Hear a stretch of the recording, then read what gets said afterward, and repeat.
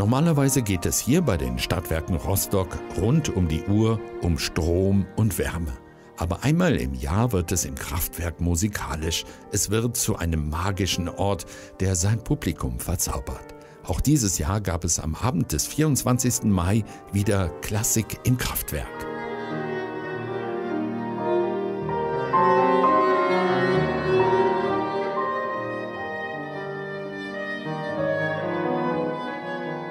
Begleiten wir nun schon seit Jahren, haben gesehen, wie das gewachsen ist, wie das Engagement, das Talent, die Begeisterung junger Menschen für die Musik halt gefördert wird, äh, wie sie in besonderer Weise gefördert wird und unterstützt wird. Und das ist das, was uns so begeistert an diesem Projekt. Deswegen sind wir dabei und deswegen stellen wir auch gerne unser Kraftwerk äh, zur Verfügung, um auch in einem besonderen Ambiente dieses, diese Veranstaltung durchzuführen.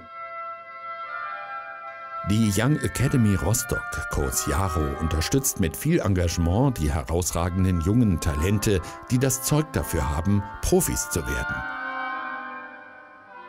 Klassik im Kraftwerk, eine tolle Möglichkeit, ihr Können in einem besonderen Ambiente zu zeigen. Dieser Ort überrascht uns immer wieder. Man betritt diesen Raum und denkt, es kann doch kaum wahr sein, dass wir jetzt hier an diesem Ort, in dieser Arbeitswelt ein klassisches Konzert hören.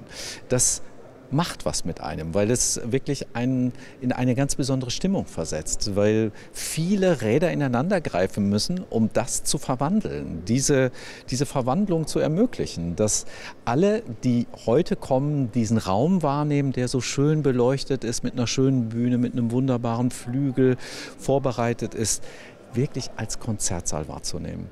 Und das, äh, finde ich, steigert einfach die Lust zu spielen, die Inspiration, hier was Besonderes zu machen. Die Künstler kommen aus Wolgast, Schwerin, Greifswald oder Rostock. Los ging es mit der jüngsten Musikerin des Abends.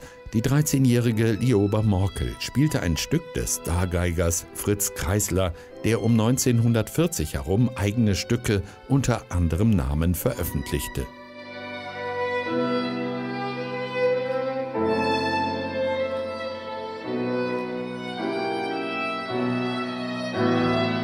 Herausragend auch das Saxophonquartett aus Schwerin, alle 16 und 17 Jahre alt, mit Stücken von Will Gregory und Dmitri Schostakowitsch.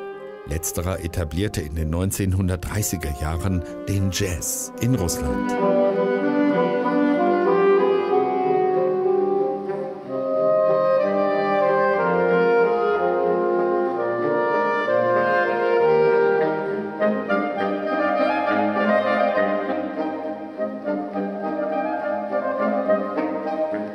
Mit einer Blockflöte gelingt hohe Kunst. Das konnte die 14-jährige Johanna Lorenz beweisen. Mit Musik von Christiane Martini, eine Bestseller-Autorin, die eigentlich Musikerin ist.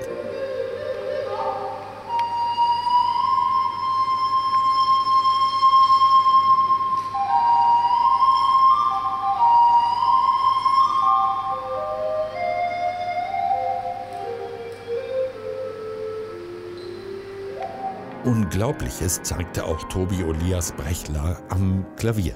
Der 19-Jährige hat schon einen großen internationalen Preis gewonnen, komponiert auch Lieder selbst. Der junge Mann, der sich voll und ganz der Musik widmet, spielte bei Klassik im Kraftwerk ein Stück von Mili Balakirev. So große Leistungen auf der Bühne, die begeistern einfach.